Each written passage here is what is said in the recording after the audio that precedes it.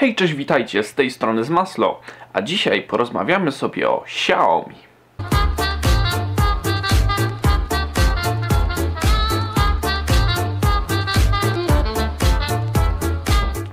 Xiaomi to bardzo popularna marka w Polsce, która z roku na rok tylko przybiera na popularności. Xiaomi idąc za ciosem wydaje mnóstwo nowych produktów i jednym z tych produktów jest właśnie taka smart żarówka. E, jest to dokładnie mówiąc Xiaomi Yeelight. Jest to troszeczkę nietypowa żarówka, ponieważ e, jest to żarówka RGB, czyli jest ona w stanie e, przybrać dowolny kolor z 16 milionowej palety barw, a także jest w stanie dawać bardzo przyjemne ciepłe światło dla oka, a także jest w stanie generować, można powiedzieć, takie totalnie białe, trupie światło. W dzisiejszym filmie postaram się Wam zrecenzować właśnie taką oto żaróweczkę, e, a także jeżeli ktoś z Was będzie chciał zakupić sobie taką żaróweczkę, powiem gdzie i jak. E, więc pierwsze co w zasadzie rzuca nam się w oczy to to, że ta żarówka jest dość ciężka. Znaczy ciężka, no po prostu jest cięższa niż zwykłe żarówki LEDowe. Jest to spowodowane tym, że żarówka ma wbudowany w sobie moduł Wi-Fi. Pytanie rodzi się jak taką żarówkę skonfigurować. Mianowicie, kiedy żarówka ma wyczyszczoną pamięć, tak, dochodzimy już do tego momentu w historii, gdy żarówki mają pamięć. Niemniej jednak, kiedy żarówka jest faktycznie fabrycznie nowa, e, ona rozgłasza hotspot Wi-Fi, jakby ona sama w sobie. My pobierając aplikację na telefon e, wybieramy odpowiednie urządzenie, które chcemy skonfigurować. Wybieramy tam naszą sieć Wi-Fi, podajemy do niej hasło, a następnie łączymy się bezpośrednio do Wi-Fi, które rozgłasza właśnie ta żarówka. Wtedy żarówka zasysa sobie z naszego telefonu e, wszystkie potrzebne informacje, no i automatycznie już potem łączy się z naszym routerem. E, jest to proces naprawdę bardzo łatwy. A co w przypadku, kiedy na przykład usunie nam się aplikacja i chcielibyśmy znowu skonfigurować taką żarówkę, kiedy ona już jest skonfigurowana. Jest na to specjalna procedura.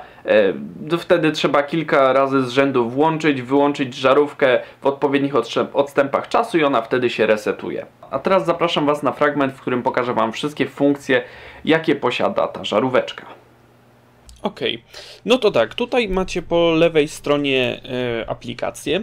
Jak widzicie, tutaj mamy różne e, tak zwane presety, czyli już gotowe konfiguracje. Na dole mamy e, suwak do jasności.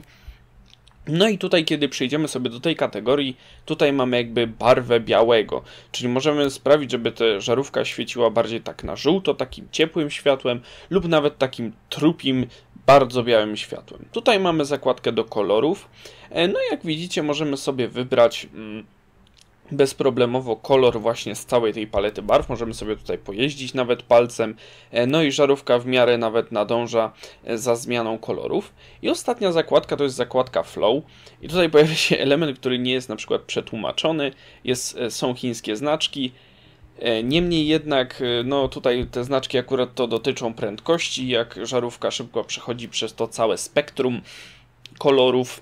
E, mamy oczywiście dodatkowe funkcje.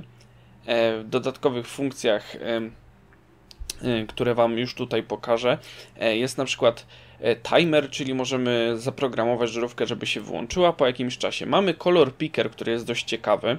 Już Wam pokażę, jak to działa. Mianowicie możemy sobie wybrać dowolny kolor jakiegoś przedmiotu aparatem i zastosować to i żarówka postara się upodobnić do koloru, który właśnie namierzyliśmy naszym aparatem. E, działa to całkiem spoko, myślę, że może się przydać niektórym. E, mamy także właśnie timer, o którym mówiłem już wcześniej. Możemy dawać e, schematy. Jest fajna funkcja Music Mode.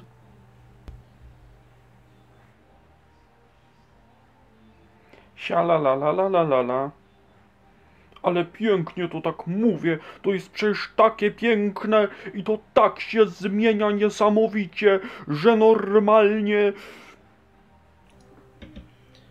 Możemy sobie też skonfigurować e, dane pokoje, gdybyśmy mieli więcej żarówek bądź smart urządzeń, wtedy możemy sobie sterować właśnie światłami w całym pokoju, możemy zmieniać sobie jasność, e, włączać, wyłączać.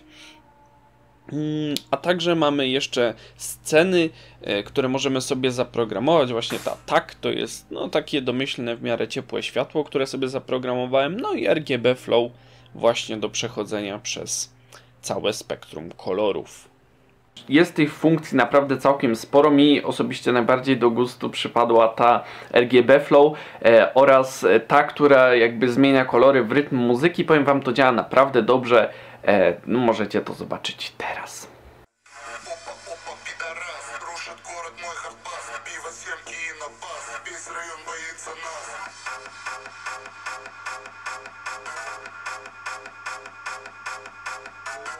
Dodatkowo żarówka właśnie bardzo fajnie możemy za jej pomocą oświetlać sobie różne przedmioty albo nasz ryjec i możemy robić wtedy różne bardzo ciekawie wyglądające zdjęcia, e, więc myślę fotografii, którzy uwielbiają wykorzystać e, oświetlenie albo amatorzy filmowi na pewno znajdą dla takiej żarówki zastosowanie. Jest to też w ogóle bardzo fajny gadżet, który na naszych znajomych może wywołać taki efekt wow! Przez to, że żarówka ma moduł Wi-Fi i jest w zasadzie podłączona do niego cały czas, w stanie spoczynku pobiera 1,2 W, natomiast przy pełnym obciążeniu pobiera maksymalnie 8,9 W.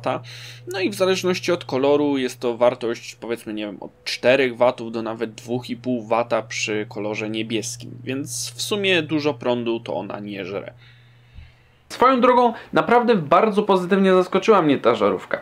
Ale, jak zawsze musi być jakieś ale. E, troszeczkę zasmucił mnie fakt, że sama aplikacja nie jest przetłumaczona na język polski. Osobiście dla mnie to nie jest wielki problem, ale zdaje się, że e, dla niektórych z Was może być to pewna, że tak powiem, niedogodność. E, Drugim faktem, który troszeczkę mnie zasmucił, było to, że aplikacja nie posiada w ogóle jakiejkolwiek natywnej aplikacji dla Windowsa i to jest straszna lipa. Telefon jest w stanie sterować taką żarówką. Tak? No jest w stanie. To co za problem, żeby ten PC, który stoi za mną, żeby on też mógł nią sterować. Problem?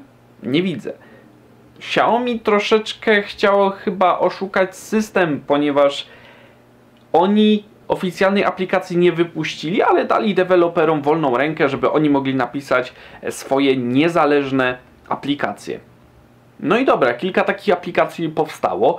Jedna, która była w miarę funkcjonalna, ok, chwilę podziałała, a zaraz potem antywirus zgłosił mi, że o hola hola, chyba w tej aplikacji jest jakiś problem, to prawdopodobnie Trojan. Czy rzeczywiście tam był Trojan?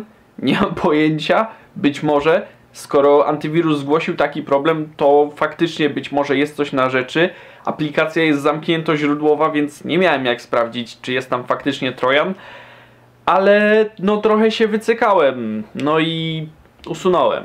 Ostatnią rzeczą, która mi się też nie spodobała, e, jest brak wsparcia dla Apple Home Kitu. Jednakże jest to troszeczkę winą Apple'a, ponieważ Apple wymaga, żeby każde smart urządzenie posiadało specjalny chip bezpieczeństwa, oczywiście stworzony przez Apple, więc e, nie jest to rzecz, którą można, że tak powiem, załatwić software'owo.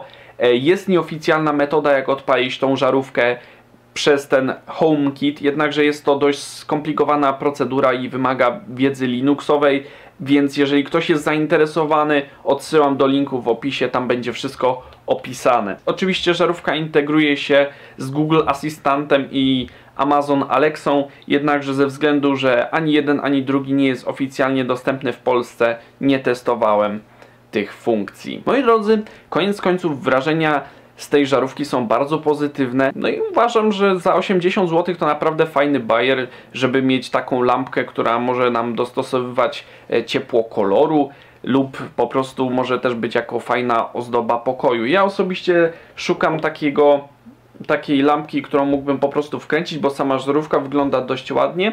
Chciałbym ją gdzieś ustawić sobie tam z tyłu, żeby nam robiło ładne tło RGB na filmach, wiecie, ten przejście kolorów i tak dalej. Myślę, że to będzie wyglądać całkiem spoko. Myślę, że w niedalekiej przyszłości jak najbardziej wyposażę się w coś takiego, więc z żarówką naprawdę bardzo się zakumplowałem.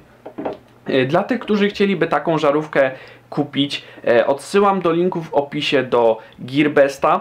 E, Tylko tam taka mała, mała drobna uwaga. e, Jeżeli będziecie coś kupowali z Gearbesta, wybierzcie sobie dostawcę GH4, bo to jest dostawca bezpośrednio z Polski.